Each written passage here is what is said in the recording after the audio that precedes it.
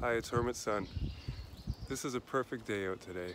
I hope uh, everybody's keeping safe and hopefully some stuff on my channel will inspire us to kind of get in touch with nature again. Everything else is shut down and we kind of have the, the greatest show on earth going on for free every day. Take some time out and maybe enjoy it. Have a good day.